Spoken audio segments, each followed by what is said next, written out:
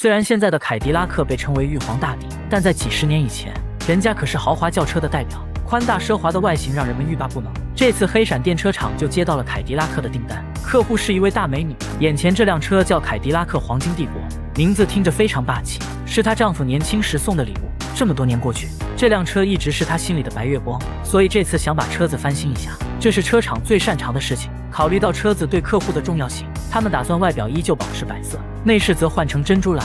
送走客户后，大家来到车间，先把全部的零件都拆掉，打算进行全方位翻新。经过眼镜哥初步的检查，发现底盘上的问题很大。当他把支撑架切开时，里面竟然出现了大量的沙子。大家慎重的考虑后，决定放弃这个底盘，重新定制一个新的。接着开始处理车身。眼镜哥把车侧着放，用火把上面的漆都烧掉，然后弄到院子里，再用高压水枪冲洗。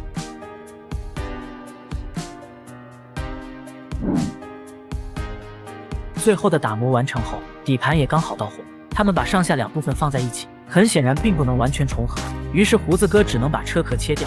没想到这一切还出了问题，原本下面就破败不堪，切完之后底盘变得更什么了，必须对其进行加固。对于锈蚀的部分，胡子哥索性破罐破摔，直接把它切下来扔掉。他又切割了很多方钢作为底盘的支撑，最后再用钢板填满空隙。至于变速箱方面，胡子哥决定露在外面非常难看，于是把钢板压成甜筒形状焊了上去。整体看起来焕然一新，但不知道够不够坚固。当大家正在忙着改车时，老白又迎来了新的客户。他带来了一辆1967年雪维尔，这种经典老车真的很吸引人，像一壶老酒，初次品尝可能会被呛到，但是细细品味却会被它所吸引。不过成色这么好的车，客户想改什么呢？这个车厂真的是业界良心，每次翻新时都会把车子拆个精光，从里到外彻底检修。因为车厂的保质保量，所以这位客户找上了门。他的要求并不多，只需要在发动机舱加格挡，展现出里面的引擎就行。另外，他说车子在行驶途中稳定性不太好，希望车厂改装时也顺便检修一下。老白把这个任务交给了熊二，他在车子后面装了一套稳定杆，能防止车子在转弯时倾斜度过大，这样能增加行驶中的稳定性。现在胡子哥正在处理车架，原本车头的面板已经全部凹了进去，他用切割机切下来后，用纸板裁出对应形状，最后切出对应的钢板焊上去，把发动机舱和驾驶舱分隔开。趁着现在手头上工具都齐全，他顺便来到雪维尔那里，再次用纸板做出了模具。我发现胡子哥用纸板是一种艺术，简直做到了炉火纯青。根据得到的数据和形状，他造出了对应钢板部件，然后拿着它送到喷漆车间上漆，风干后直接装了上去。现在这辆车已经修复完成了。我们回到凯迪拉克那里，茂哥现在要安装轮胎。由于新底盘上面的制动器太高，而轮胎又太大，尺寸不合，无法安装。他给大壮请示，要把大梁切割掉一部分，好腾出空间装轮胎。这么做虽然确实有用，但是我觉得非常危险，打破了底盘结构的完整性。刚弄好这里的轮胎，就有人送来了发动机。这是一个全新的引擎，只需要简单调试就可以安装。接下来的一步虽然不难，但是却让这几个汉子很头大。那就是组装格栅，这些全是镀铬的亮片，数量非常多。三人大眼瞪小眼，不知如何下手。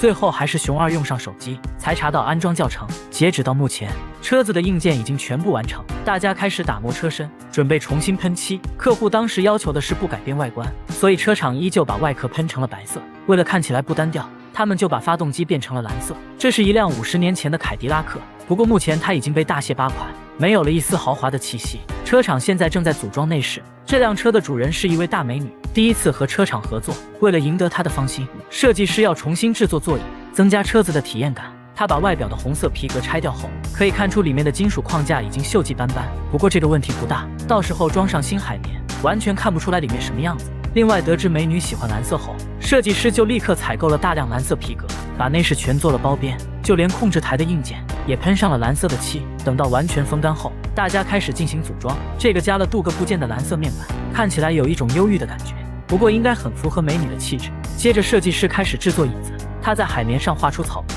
背部采用菱形线条，看着更加美观。其余部分不做处理，裁剪缝制完成后进行包背，一套新的蓝色座椅就完成了。这时，有一位客户突然到访，原来是那辆雪维尔的车主。那辆车已经改造完成，老白带他一起检验。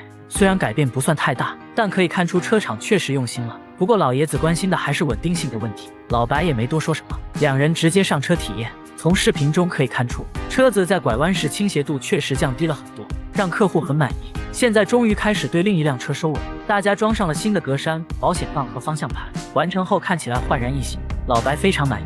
他把美女客户约到看车点，白色的车身看起来非常干净，底盘也进行了加固，车子增加了一点低趴风味，外表也全部选择镀铬部件，前后变化非常大。优秀的车身设计，加上老白的三寸不烂之舌，把美女客户说的一愣一愣的。不过哪怕说破大天，还是得试一试车。It's been a long day without you, my friend. And I tell you all about it when I see you again.